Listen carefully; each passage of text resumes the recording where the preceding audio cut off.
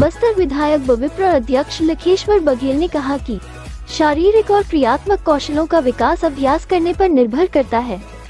खेल ऐसी क्रिया है जो बच्चों को अभ्यास के पर्याप्त अवसर प्रदान करती है। बस्तर विधायक ने कहा कि खेलों से सामाजिक बनने में भी सहायता मिलती है और आत्मविश्वास में वृद्धि होती है, यही नहीं खेलों से ही अनुशासन, सहनशीलता और धैर्य जैसे गुणों का विकास होता है। खेल हर किसी की ज़िंदगी में काफ़ी महत्वपूर्ण है। क्योंकि खेलों से ही स्वस्थ शरीर और स्वस्थ मस्तिष्क का निर्माण होता है। कोई स्वस्थ शरीर पाने के लिए खेल खेलता है तो कई लोगों की खेलों में रुचि होने की वजह से इस क्षेत्र में ही अपना करियर बना लेते हैं। ग्राम घुमडिल में क्रिकेट प्रतियोगिता का आयोजन रखा गया था, जो कि फाइनल मैच कुरुषपाल और सिरहागुडा के मध्य खेला गया।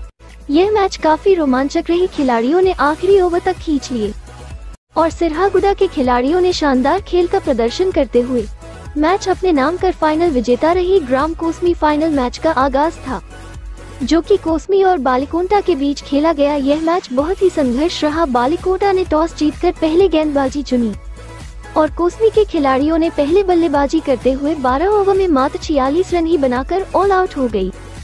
छियालीस रन का पीछा करने उत्तरी बालिकोटा की टीम ने शानदार प्रदर्शन करते हुए जल्द ही अपना लक्ष्य प्राप्त कर मैच अपने नाम कर फाइनल विजेता रही, जिसमें मौजूद रहे ग्रामीण जिलाध्यक्ष बलराम मौर्य, मधु निषाद, नीलम कश्यप, जसकेतन जोशी, राजेश कुमार, वीरेंद्र कश्यप, हरीश कश्यप लिमधर कश्यप सोंधर अश्विन, जलन, रूप सिंह, धनीराम, धर्म, भगवान, शंकर दशोदा कश्यप, सुखराम, हेमंत, नीलम बघेल, एवं समस्त कार्यकर्तागण व ग्रामवासी उपस्थित रहे।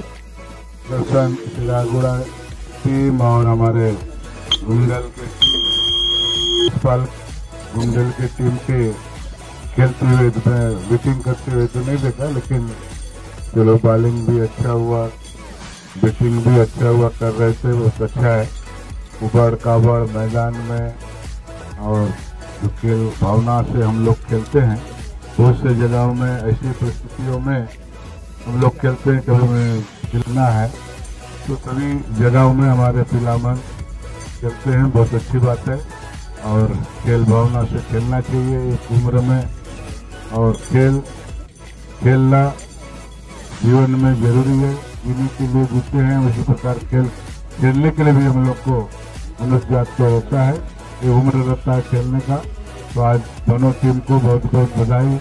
विजेता उपजीती, विजेता को, लेकिन सिरागुड़ा की टीम लास्ट लास्ट ओवर था ना? लास्ट ओवर में हमारा सिरहा बॉलिंग कर रहा था। तो उधर ही वो कर बढ़िया। बहुत बहुत धन्यवाद, सबको नमस्कार।